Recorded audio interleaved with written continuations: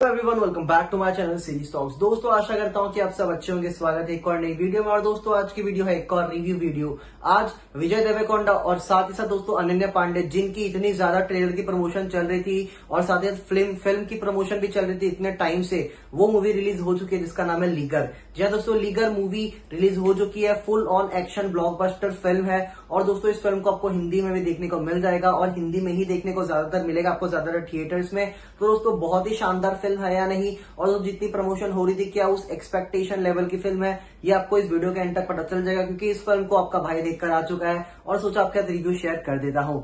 दोस्तों, सबसे पहले बताऊँ इस फ़िल्म की स्टोरी के बारे में। फ़िल्म की स्टोरी बहुत ही बेसिक तरीके से स्टार्ट होती है। जी हाँ दोस्तों, आपको अगर याद हो, राजमाता जो थी बाहुबली में, वो भी आपको किरदार नज़र आने वाले जो कि लीगर का माँ प्ले कर रही है। जी हाँ दोस्तों, उनका रोल उनकी माँ का रोल है। और दोस्तों, वही बाहुबली वाली जो उनकी राजमाता वाली जो फीलिंग थी आँखों में, वही डर और वही गुस्सा, वो सारी चीज़ आपको दोबारा से नज़र आने वाले तो एक तरीके से ये चीज़ मुझे थोड़ी सी अजीब लगी है, इस चीज़ के, क्योंकि दोस्तों वो फ़िल्म वहीं पे खत्म हो चुकी थी और ये चीज़ को दिखाना नहीं चाहिए था। बट इसके अलावा उनका कैरेक्टर मुझे ठीक ठाक से ही लगा है। लेकिन दोस्तों विजय सर और विजय डेवोकोंडा सर का जो कैरेक्टर है, बहुत ज़्यादा अमेजिंग जो ट्रांसफॉर्मेशन बॉडी से लेकर उनके कैरेक्टर उनका गेटअप उनके बाल, उनका मेकअप बहुत ज़्यादा शानदार। अनन्या पांडे का रोल ऑनेस्टली बताओ तो कुछ खास नज़र नहीं आया मुझे।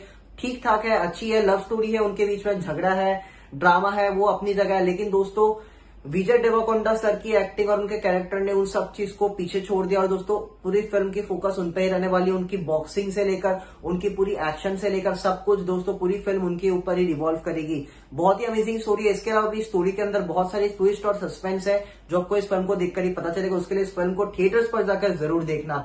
बाकी दोस्तों, इसके अलावा और इस फ़िल्म के अंदर कुछ ज़्यादा खास चीज़ है नहीं। लेकिन दोस्तों ऑनेस्टली बताऊँ तो इस फ़िल्म को मैं पाँच में से डेफिनेटली चार स्टार देने वाला हूँ। और आपको रिकमेंड करूँगा इस फ़िल्म को जाकर ज़रूर देखना, क्योंकि ये फ़िल्म डेफिनेटली मूवी में देखने वाली थिएटर में देखने वाली फ़िल्म है तो काफ़ी मज़ा आएगा आपको इस फ़िल्म को देखकर। इसके अलावा अगर आपने इस फ़िल्म को देखे तो कमेंट बॉक्स में लिखकर रिव्यू ज़रूर शेयर करना। वीडियो अच्छा लगा तो लाइक और शेयर करना मत भूलना।